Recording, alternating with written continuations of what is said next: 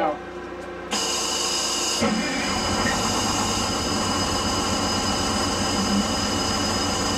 It lives!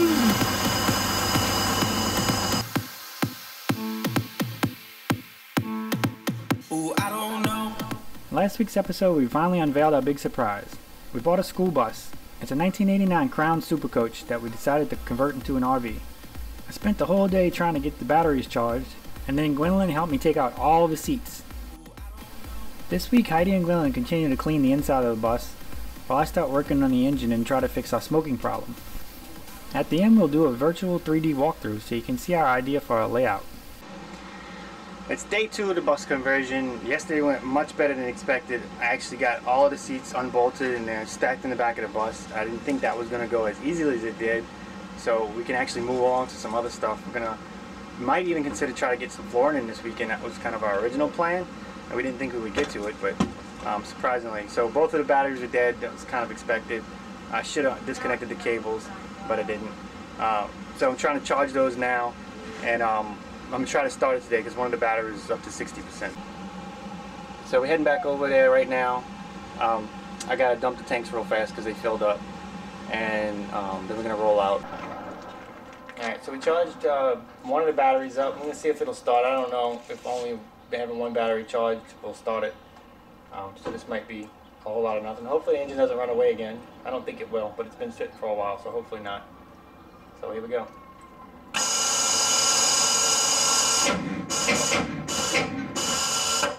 Not charged enough. I need to charge the other battery.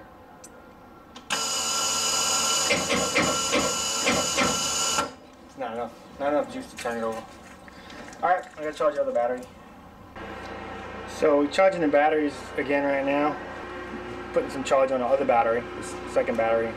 Hopefully that'll help. Doesn't seem like they want to go up much past 60%, so I'm thinking it's a bad cell.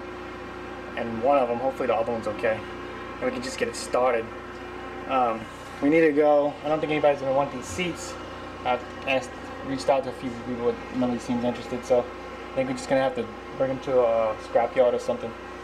But we need to get the bus running so we can go drive over there, wherever that may be, because it would be too many trips in the RV to try to load all these seats up and um, bring them over to wherever we gotta dump them. I think there's a dump nearby, uh, so I can probably do that. Um, I've heard you can bring it to a scrapyard for the metal, but you have to strip all the cushions and everything off, and we just don't really have time for all of that right now. Um, time is more important to us at the moment um, than, you know, 20, I think it's the 20 or 30 bucks we get from that steel. Um, I know 20, 30 bucks, 20, 30 bucks, but and it'd take a few hours to pull all the cushions off of there. And we still have to go to the dump anyway, so um, let them let them pull it apart and they, they can make the money. So, uh, another problem we have, we knew we had a flat tire, but it's so flat the, the tire actually popped off the rim. So what I'm gonna do is I'm gonna, I'm gonna go to Harbor Freight again, because it's close by, and I get a big jack and try to jack it up and get the weight off of it. And with the weight off of it, I'm hoping I can get it to uh, catch it, you know, kind of seal when I try to put air in it. Um, I've, I've done that with car tires. I don't I've never done anything with a big tire like that. You know, like if the tire is kind of off the rim a little bit, um, you just kind of put pressure on it and it might grab. But there's so much weight on the tire right now, I can't, I can't get it to like flatten out and seal. So I'm gonna have to go get the jack and try to jack it up and see what, see if that works. But I'm gonna try to start this one more time and see what happens. It's been charging for a while, so let's see.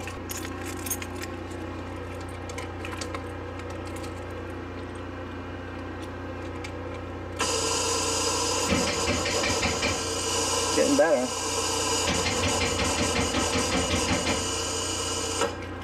It's getting better. So the charge is definitely working. Um, it, it's not it's, it's not as weak as it was earlier. So you know maybe I know by the end of today maybe we'll be able to get it up and running. Hopefully, and I can go drop these seats off because we really want to start doing the floor and it'd be nice to get, just get some progress done. Just get the seats out really, just to get these out. But there's so much room. Do you want to turn the generator off or on? You can leave it on. I'm charging the batteries right now. It has to be Okay. on to charge the battery. We're gonna get some stuff to clean up. We're gonna mop. We're gonna sweep real good. We're gonna mop as best we can. Clean the walls. Get it as clean as we can. And I want to pull some of this rubber up I need to get a, a knife and uh, I need to pull that coping at the bottom off and uh, we'll work through that and see where that takes us and see how far we can get. Because it'd be nice to get a floor in here. Um, I know most, usually you don't put the floor in until after you get cabinets and walls up because you don't want to put flooring under walls. But in this case, I don't, I don't really think it matters. It's such a small space. It's not like it's going to waste a ton of material. The, we did the measurements on it and it's a little bigger than I thought it was. Uh, the, the, total square footage of floor space, um, all the way to the front of the bus, counting the stairs and all, is 270 square feet. So it's not small. It's it's a lot of space. Um, we lived in um, a little apartment above Heidi's parents' garage for a couple years, and that was like 300 square feet. Um, so it was a little bigger footage-wise, but the walls came up on an angle. It was like one of those bond-shaped things, so the walls kind of came up at a real sharp angle, and you couldn't stand real close to the, to the walls because the way the ceiling was made. So it made it seem smaller than it actually was. And, and honestly, this seemed, it didn't have a lot of windows either. So this seems, this actually seems a lot bigger because of all the windows. And uh, we'll have to figure out how we're gonna seal some of that up because, uh, because of the heat transfer. We might tint a bunch of them, like really dark, and then get some um, that reflective heat material. And then I may even make some little insulation boards that we can put in and just put them in place when, when we are uh, not driving around. Ready to leave. Gwendolyn and I are going to clean the bus because it's really funky. 30 years of all kinds of nastiness. And Ellen's taking a nap. And I have a frog in my throat because I still have a cold.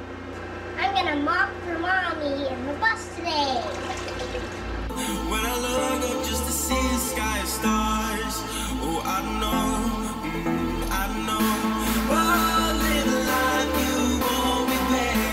couldn't find a 8D battery anywhere. These are 4Ds in here, actually.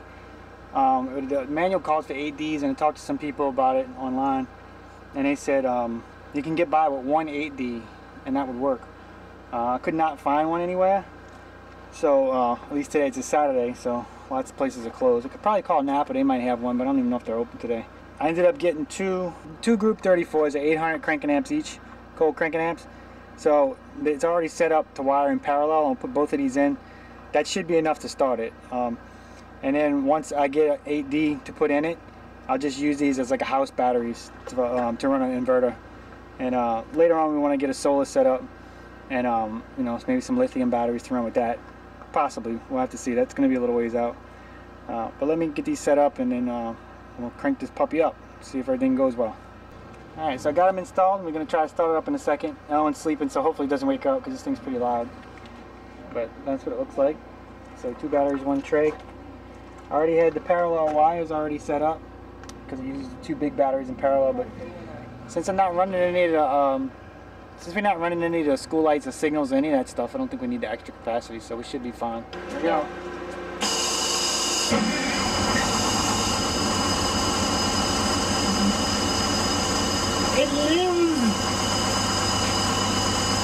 That noise, that noise you hear, the buzzer, is the low air pressure. So the air pressure has to build up in the tank. That buzzes to let you know there's not enough pressure, so you don't try to drive off. You won't have you won't have brakes at all. And Ellen's still sleeping. Yay. Isn't it amazing? It comes with two sponges.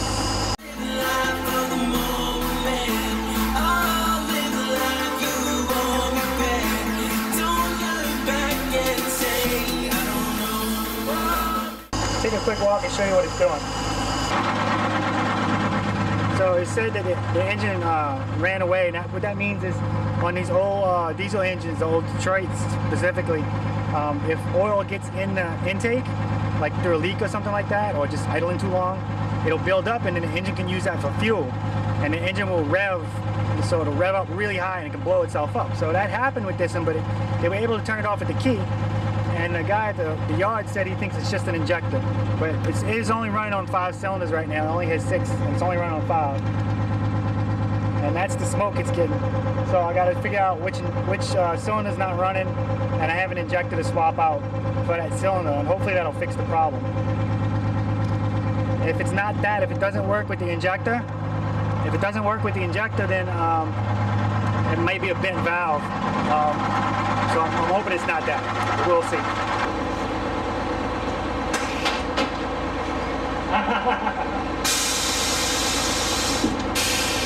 That's so cool. Isn't that cool, man? Look. Close the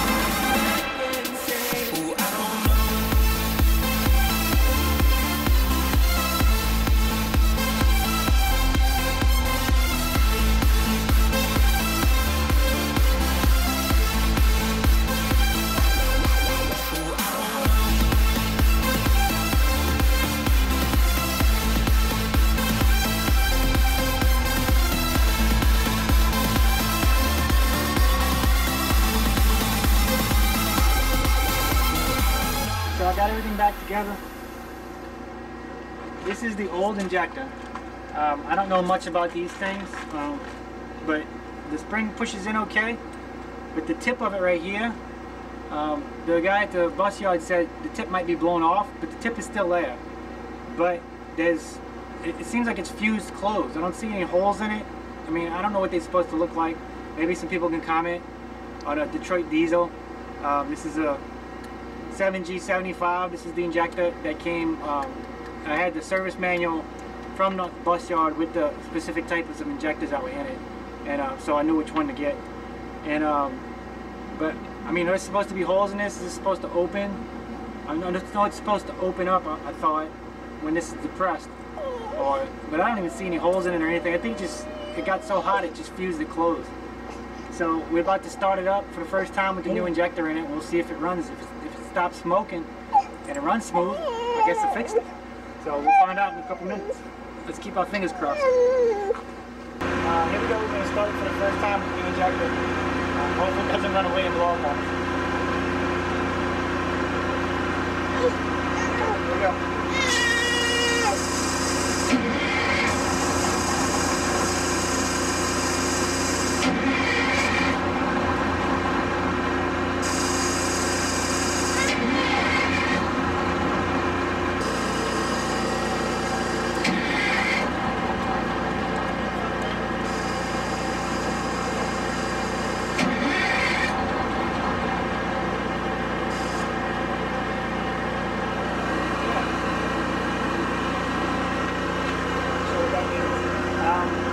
What's going on is, uh, you know, I let the fuel came out of the line when uh, when I changed the injector. So I have to figure that out.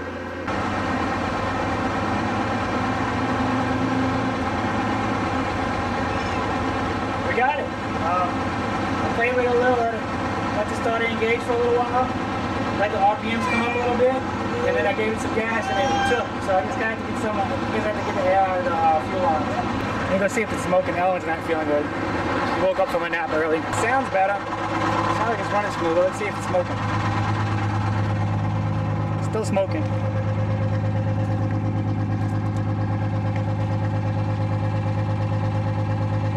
Hmm. What if we got a bad valve? Okay, everyone, need your help. Leave a comment below if you think the one on the left is smoking more than the one on the right. The one on the left is before I change the injector. The one on the right is after. I did not set the timing on the injector, which can cause smoke. So I'm thinking this thing might actually be working. As you'll see in the video, my initial thought after I started it the first time was that it sounded like it was running smoother. But then when I went back and looked, it was still smoking, so I assumed that the problem wasn't fixed. So if there's any Detroit diesel folks out there, please just chime in if you think the one on the left is smoking more than the one on the right. Ooh, I don't know.